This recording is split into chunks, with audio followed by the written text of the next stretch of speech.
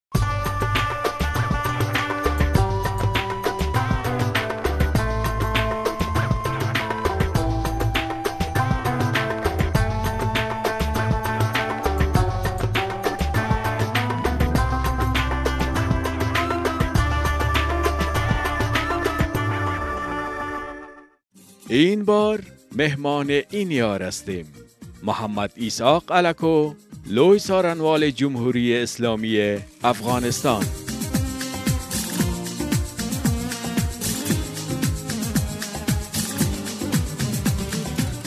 تشکر مجیب جان ستاسو ستاسو پروګرام اکثره وخت تعقیب کړی دی او په ډیره مینه به مې در پای پورې تعقیباوه ما دا فکر نه کاوه چې یو ورځ به داسې راشي چې ته به هم بیا زما میلمه سې او زه به هم په نوبت کې ونیول سم ډېر تشکر ستاسو د راتګ څخه خدای دې وکړي چې دغه څو دقیقې چې تاسو زما میلمه یاست ستاسو په خدمت او چوپړ کې زه قرار ولرم ډېر مننه کوم لوی سرنوال صاحب او ګران دوستانو واقعا نن مونږ ته ډېر د ویاړ ځای دی دا چې د هېواد د لوی څارنوال د محمد اسحاق الکو مېلمانه یو په دې چې په دې ملمستیا کې تاسو هم تر پایه پورې زمونږ سره ملتیا وکړئ په اوسنۍ ملمستیا کې څارنه به مونږ کوو ځواب به لوی څارنوال صاحب ورکوي تشکر زه حاضر یم ماشومواله کې تاسو دا فکر کوئ چې تاسو به یو وخت څارنوال شئ او لوی څارنوال به شئ دا ډیر دلچسپه سوال دی چې دا زما اوس هم راپایدیږي په هغه وختو کې چې زه به د ټولګۍ په ټیټو صنفو کې وم څلرم و پنځم و شپږم و اووم کې به موږ به استادانو همیشه دا تشویق کولو او دا به راته ورته ویل چې دا وطن به سته سي تاسې به په دې وطن کې ډیر درانه مسؤلیتونه به تاسې ته پاتې او تاسې به په داسې حراکیونو په جمله کې راتلی هغه وخت کې هیڅ ما دا باور نه راتلی سړی کوچنی وي دا خپله حدس ده دا ذهنیت ده دا دا فکر دې ته لا آماده نه وي چې یو د شی د سړی پیشبیني وکړي اکثره په دغسې ژوند کې تصادفات هم راځي تسلسل د خپل شخصي او فامیلي د ژوند پر سره تړاو سره لري کاکر سړی داسې په یو داسې حالت کې قرار نیسي چې اجتماعي یو خاص مسوولیت وي او دولتي موقف دی پیدا کوي پخوا کې دا خبرې ما ډېرې اورېدلې د خپلو استادانو څخه همدا مې فکر نه کاوه اوس په دغسې یو موقف کې قرار لرم چې د دولت ډېر یو دروند مسوولیت زما پر غاړه دی ما په خدا کې هیڅ وخت فکر کوي چې زه به یو وخت د لوی څارنوال صاحب میلمه اوسم اما په دې ژوند کې دا شی هغه یو متل دی وایي هغه څوک هغه کیږي چې هغه غواړي. څه فکر کوئ چې ستاسو په راتلو به ایا خلک خوشحاله شوي وي؟ زموږ مسلک همکاران مو څه وایي؟ مجیب جانه زه داسې درته وکړم د مسلک د څارنوالۍ که سړی په وزارت تجارت کې د تجارانو سره سرکار وي که څوک په وزارت معارف کې تحصیلات یې د محصلو د زده کوونکو سره کار وي که څوک په وزارت صحت عامه کې وي هغه د مریضو د طب سره زموږ متاسفانه د جامعې دغه کریمینلو بخش سره سروکار دی او زموږ نوم په اصلي نوم مدوی العموم دی یعنې د ټولو دښمني زموږ پر غاړه ده نو یو تعداد به کله په دغه شي باندې دا راضي شي چې حق ته تن ورکړي هغه به د ډیر د سرنولی د نامه څخه یا سرملی څخه دی به خوشاله اوسي مګر زه د داسې فکر کوم چې زما سره همکاران چې په اخلاص همکاري کوي زه فکر کوم چې دوی زما د د دغه پرنسیپ څخه د دې ستراتیژي څخه دوی خوشاله دي د یو څارنوال دنده اساسي دنده او رسالت څه دی وظیفه یې تطبیق د قانون یکسان تر عنوان لاندې او حاکمیت د قانون پلي کول دي څوک چې قانون شکنه وي قانون رعایت نه کوي یا په فساد اداري او په بل شي باندې ملوث کوي تختیاوي کوي د خلکو حق نه مني د قانون حق نه مني د دولت حق نه څارنوالان یې بررسي کوي د دې تحقیق کوي او محکمې ته دري د محکمې څخه بیا د دې د مجازات لپاره پریکړه په لاس راوړي کله چې ډاکټران فارغيږي هغوی قسم خوري چي خپله دنده به په صادق قانه توګه تر سره کوي څارنوالان څنګه زموږ هم دغه ډول دی څارنوالان چې په خپله د دغه مسلک سره دی د ارزو لري او د دې څارنوالۍ د لارې دوی غواړي خپل وطن ته خدمت وکړي د دغو دوو اختصاصي فاکولتو څخه راوځي یا د شریعت فاکولته ده چې اوس د شریعت فاکولتې موږ خوشبختانه د افغانستان په غیر د کابل څخه په نور ولایت کې هم لرو او هم فاکولته د حقوق ده چې د اختصاصي د حقوقو د مبادي د حقوقو څخه دی شروع کوي د هغو د تشریع د ټولو د په دغه رشته کې دی تحصیل کوي بیا راځي او په دغه پاک نیت باندې او قسم خوري سوګند خوري په دې اوس ورځو کې ما یو بل قسم نامه دی د پاره جوړه کړې ده چې د هغه په تعقیب باندې او د ټول ولایت ته ولېږل ټول څارنوالان به بیرته د سره امضا کوي لوی څارنوال ښاغلی محمد اسحاق الکو ځینې کسان دي چې ځان ښکاره کوي چې دوی کار کوي ځینې کسان دي چې کار کوي خو ځان نه ښکاره کوي تاسو د کومې ډلې څخه یاست زه د د داسې د تظاهر پر بنا باندې نه چې زه دا تظاهر کوم ما ته اوس په خپله د موضوعګانې اضافه د څلوېښت کاله څارنوالۍ کې مې کار کړی دی او دا مې اوس مسلک ګرځېدل دی، ما ته روزمره بالکل یو عادي کار دی، زموږ څارنوالان چې دا کوچنی څارنوال دی که لوی څارنوال وي، موږ ټول روزمره غیر د تعقیب د جرایمو بله وظیفه نه لرو. دا دی لوی څارنوال ښاغلی محمد اسحاق الکوام کار کوي او ځینې نور کسان هم کار نه پوهېږم چې کوي که نه کوي خو دومره غږونه یې شاوخوا نیولي وي څه درته وایم په هر حال خو ښه به دا وي په دې دنیا کې سړی که کار هم کوي باید غږ هم خپل اوچت کړي دا خو ده دغه خلک باید خبر سي دا د ملت حق دی چې په دې پوه شي په دولت کې څه شي تېرېږي او دوی څه اجرات کوي او دا باید درته ووایي ښاغلی لکو په دې څه موده کې چې تاسو د هیواد لوی څارنوال یاست ستاسو لویه لاسته راوړنه څه وه ما دلته دغه ورځ چې زه راغلی یم ما ډیر کورسونه جوړ کړي دي ډیر د سټاج کورس مې جوړ کړي دي ډیر سیمینارونه مې جوړ کړي دي په دې وخت کې دوه درو ولایاتو ته مو د تعمیر مشکل رفع کړی دی موټران مې د دغه خارجي موسسو څخه د خارجي هیوادو څخه د دونرانو څخه هغه راخستي دي پرون مې قرارداد دغه د پی آر آر امضا کوي چې د څارنوالانو معاش به لوړ سي نو زیات د قوانین مو در سره دست نیولي چې په نیازمندي د دغه وخت په زمان د نیازمندۍ سره برابر پر هغو باندې سره کار وکړو دغه ګچ دا نورماله یو عادي خبر ده یو تعداد د تغیر و تبدیل مې په دې څارنوالۍ کې راوستل دی، نوي خلک مې مقرره کړي دي، څوک چې ازرده وه د پخوا نه هغه مې بیرته راغوښتي دي، نو نو دغه زموږ روزمره کار دی، دغه مخکې ځي و او ډېرې موضوعګانې بررسي کړي، ډېر خلک متاسفانه متاسفانه بندیان کړي دي. لوی څارنوال صاحب، ایا په دې موده کې تاسو کوم څوک پر رشوت نیولی دی؟ هسې مو ډېر نیولي دي، ډېره داسې خورد ورځه ده د څارنوالۍ څخه نیولې تر دې نورو ارګانو د مامورینو څخه چې چې دی غوښتل چې هغه موږ ته اطلاع راغلې ده او موږ ته شکایت کړی دی هغه خلک مو دغه کړي دي سره د پیسې مرته نشانی کړي دي خلک مونږ ولې دي دې ته وایي د رشوت نیول چې په میلیونونه رشوت سړی ګیر کې دا د لسو افغانو شلو افغانو رشوت خیر دی ستا باور نه راځي د دغه د ستاسې د لیدونکو به باور نه راځي دغه نن یې ماته د یو ولایت څخه دوسیه راوړې د میلیونو ډالرو موضوعګانې دې موږ کشف کړي دي ګران دوستانو د مهمان یار خپرونه ادامه لري او دا ځل موږ تاسې د هیواد د لوی څرنوال د ښاغلي محمد اسحاق الکو میلمانه یو د الکو پاکړه بم زیاتره معلومات ترلاسه کړو او ستاسو دوسیه به هم باندې راوباسو خو د یوې لنډې وقفې څخه وروسته.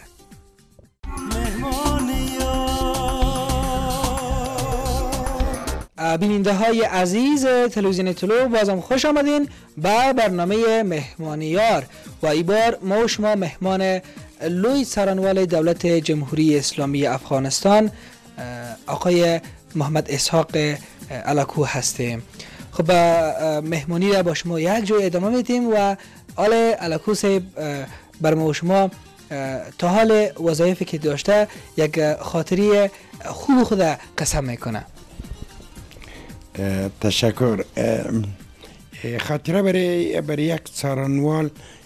با همه خستگیش که شو در منزل خود میره امی خاطره خوب است که ما امروز تانستیم اشکای یک کسی را پاک کردیم خوش کردیم یک بندی که غیر یک بندی بود او را رها کردیم یا یک ظالمه که مظلوم از دست از او و فیغان بوده ما او را قلن د اعظمي جمعیت تجریش که دی ولی د بنی خانه روان که ای خاطره یک څارنوال است در مجموع که اونجا میبینه که تانیست حق و عدالت و قانونیت تانیست تدبیق کنه ای خاطرات خوبی داریم علاکو صاحب چند ما رو در بر میگیره که سرنوشت یک زندانی معلوم و دوسیش تکمیل میشه برای سرنوال 15 روز صلاحیت است 15 روز سرنوشت توقیفی یک نفر باید تصمیم گرفته شود اگر در 15 روز نشد پس 15 روز از محکمه تمدید میخه و بالاخره این دوسیار اما بعضی موضوعات دارن که بسیار دور دراز است یک وقت زیادی را در بر میگیره تا او آمده شود و سرنوال بتنه برای قاضی قناعت بده که این جرم مطابق این جزا را ما طلب مجازات کنیم فیصله از رو صادر کنیم بله ما چند زندانی به سرنوشت خبر دارم که زه که دوسیج بسیار تال کشید آخر دم داخل زندان شاعر شد و دیگه صنعتکار شد می بافه خب هر کدامش با اندازه جرمش خب وقتی که جرم های بسیار سنگین و منتظر یک جزای سنگین باشه پروسه از او در خود محکمه هم قسم دوام میکنه اما که بندیخانه ما خودم بندی شدیم بندیخانه یک جای است که اصلا برای مطالعه برای شعر برای کتاب نویسی خدا آدم نگاه کنم یک فرصت بسیار خوبی است و و ایرا وزارت عدلیه در این راسته به نام سناتی مبس بر از اینکه بندی وقتی که خلاص میشه پس دمی زندگی اینده خود موافق به جامعه بسازه او اصلا یا یک کسب هم یاد میته اونجا صنعتی موس از کالین بافی نجاری از این چیزا را میگیره تا یک بخش برای مطبعه هم داره کتاب هم چاپ میکنه یعنی به این شکل اصلا مرحله است که برای بنجا یک مصروفیت است علت ازی چی است کسایی که در خود مثلا سرنوالی کار میکنن احتمال زندانی شدن از یا بیشتر است نسبت به دیگر کسا یک سوزل شما ببینید دکتر که خودش در شفاخانه مصروف است و مشه با میکروب سر کار داره خطر سرایت میکروب برای دکتر از دیگر مردم که یعنی زیادتر است خطر چون اکثرا بالخصوص در سرویسا و بخشای امراض ساری که کار کنه و می خطر موجود در سارنولی چون سرکارش با قانون است و تمام پروسه که از ابتدا از آگاهی ابتدایی تا تحقیق تا کشف میشن در قانون باید چوکاٹ قانون باشه جزوترین سه و غلطی خود سرانوال خودش یک مرتکب یک جرم میشه خب لوی سرانوال آقای محمد اسحاق علکو امی جزا چند نوع است که یک جزا را به نیمت بتیم میان یک جزای عادی شه ما اصلا جرایم که تقسیم کردیم و که جرایم تقسیم میکنیم از روی مجازات شسته که در خود قوانین قانون اجرا جزایی در قانون جزای افغانستان در قانون کشف تاکتیک څارنوالی تشکیلات و صلاحیت های څارنوالی اوین ما به سه کتگوری که او را قباحت میگیم جنها میگیم و جنایت میگه به سیم کتگوری ما تقسیم کردیم مونتا امی شخصا ما از این جزای نقدی بسیار میترزم و مثلا در موضوعات اختلاس های بسیار بلند و یا زیاد و اما پیسرم تحویل میکنه معدل از جریمه از اون میایه و و بالاخره مجازات سلب ازادی رو میبینه یک روز یک متهم پیش قاضی استاد بود قاضی دیگه می حکم زیر صادر میکرد دمی اسنا یک دفعه امی قلم از یفتید این متهم قاضی رو گفت قاضی صاحب کلنگ تو گفت بالا گو رفتم این قلم بالا کرد گفت برادر گفتی کلنگ نیست این قلم است متهم گفت حالا اگه کلنگ از قلم است قبر مرکز از کم دی آیا شما با این قسم حادثه برخوردین که با این قسم یک متهم برابر شده باشه نه و قسم اول بچار خود همی پروسه و مرحله محکمه در محکمه ساده و آسان نیست سرنوشت است و سرنوشت و منتظر می فیصله و حکم محکمه و تمام دلایل و هیچ چیزای خود میخوای که خود بیرات بده یک کلن مجازات شه یک مرحله بسیار سخته مثل دوره امتحان ورست اما از که در سخت تر و شدید تر است بله لوی سرنوال آقای محمد اساق علکو اگر یک زن پیر 70 ساله از یک مرد بسیار محسن 80 ساله بخواه که طلاق بگیره شما لحاظ حقوقی برزنا چی نظر میتین مثلا لردیشان هم بسیار ضعیف باشه که از ضعیفی دست که دیگر را بگیرن برن که طلاق بگیرن شما اگر با یک قسم افراد دوباره شوین چی میکنین موضوع طلاق میاد سران ولی مثلا پیرم ممکن بیای اولادارم بیای و بالخصوص طلاق طلاق در مابین مثل طور جوانا می باشه که اوی جوانک بسیار زود عاشق میشه و بسیار زود طرف دیگه میلان میکنم اما این موضوعات موضوعات فامیلی میگیم موضوعات حقوقی میگیم موضوعات جزایی او مربوط ما نمیشه مربوط محکم اختصاصی خاص است و اگر در سرانولی ما میایه تر موضوعات ما یا رهنمایی میکنیم برای من یک وکیل بگیرین برای از محاکم حقوقی و تجارتی و اونجا میره به سرانوالی تعلق نداره ما در بله. طلاق کسی سرنوشت از یا ما تصمیم نمیگیریم ما گفتم باش یک نظر بدی به قدر اینکه دمی دوران پیری دوستای عزیز می زنه شوی قجنگ میکنه بین خود که از جوانی هم کرده زیادتر بیا حوصله میشن هستن بله، بله. بلخصوص خارج بسیار زیاد است که ببینید در محکمه حاجی آقا همراه بیبی حاجی همراه بیبی حاجی در محکمه ایستاد است و طلاق میگیره اما متاسفانه در افغان خوشبختانه در افغانستان امور ما میگیم که ما یک کلتور و فرهنگ و وفاداری هر شوهر به زن خود وفادار است و و دیر تامی اخیر زندگی همراهش میشه بسیار کم است افغانستان طلاق بله. دوستا تا 70 سالگی 80 سالگی که بودین دیگه یک 20 سال دیگه چی هست که برم باشه همون طور است بله همین او پدری خو افغانا داره هم بله. شوهرش هم خانم زنش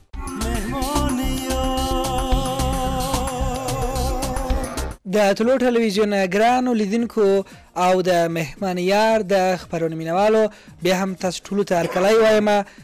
د مهمان یار خبرونې ته او دا ځل زموږ تاسو یار د هېواد لوی څارنوال ښاغلی محمد اسحاق الکو دی.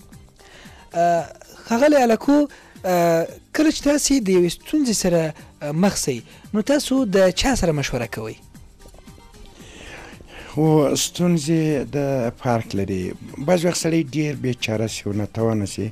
داسې لار هم نشي پیدا کولای او په دې مشکل کې نشي کولای چې د چا ته مراجعه وکړي د چا څخه مرسته وغواړي نو ځان یا تسلیموي چې هر څه چې راغله باد آباد وه اما د ژوند تجربه چې مجیب جانه ته از ما سن و سال ته راسې سړی به بعض شیان بعض وخت د ژوند د ډېرو مشکلاتو سره مخامخ سوی به مې دا ویلي چې هغه چې تېره سول دا به هم هغسې تېره سي نو بیا سړی تدبیر نیسي احتیاط کوي طبعا که بعضې وخت سړی ښه دوستان ولري د هغو سره بیا مشوره کوي او دا ورته ورته وایي چې هغه سړي ته یا تسکین ورکوي یا لار وښي په ژوند کې لوړې ژورې ډېرې رسېده خو ثابته خبره ده خو ګران دوستانو اوس داسې یو دنیا راغلی دی چې د هر چا مشاوره د هغه ښځه وي او ډیر لوی لوی شخصیتونه د نړۍ رئیس جمهوران په دا خپل کاري موضوعاتو کې هم د ښځې څخه مشوره اخلي داسې ده په زړه پورې ښځه او سړی دا اعتماد کوي چې د سړي دپاره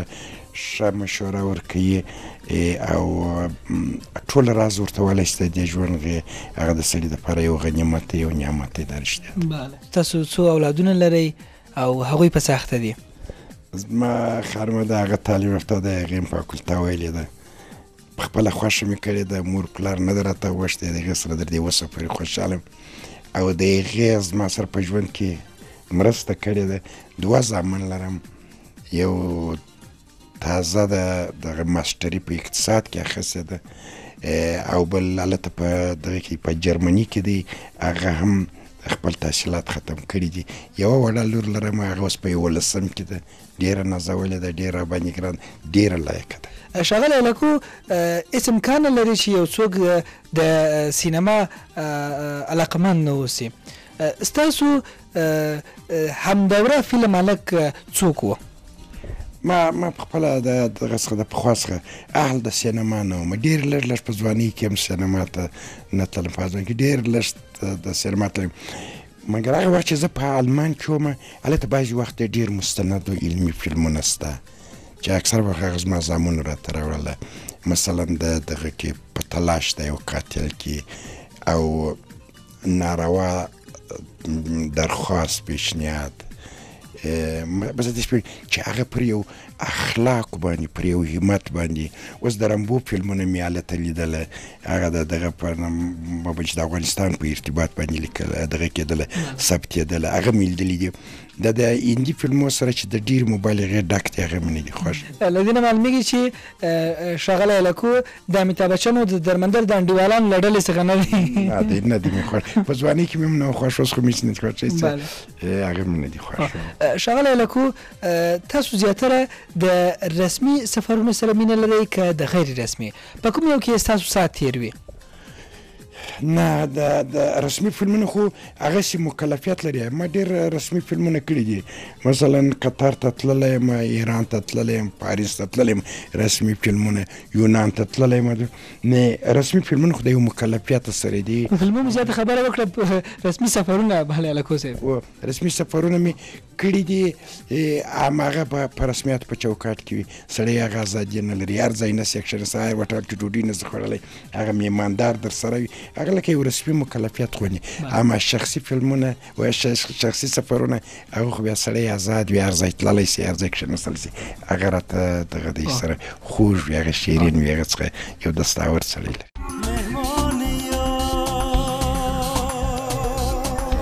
الکو صاحب که دوسیه نه راته جوړوي ستاسو ډوډۍ به وخورو اوس راځه خدای دې راوله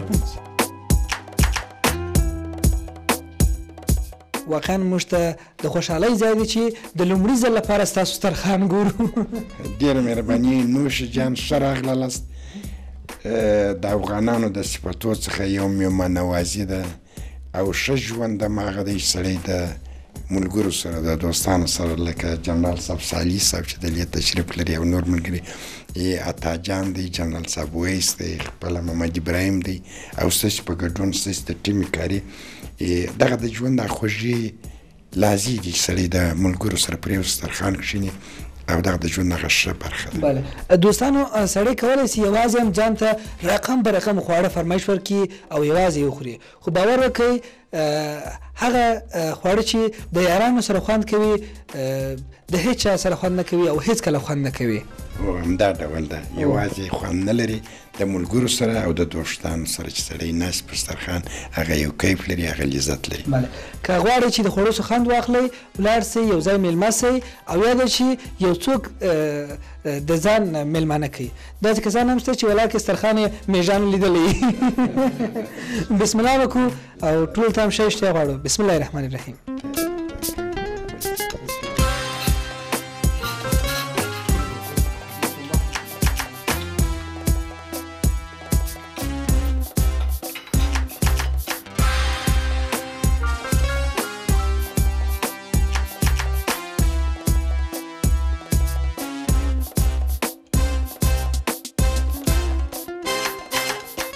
په پای کې به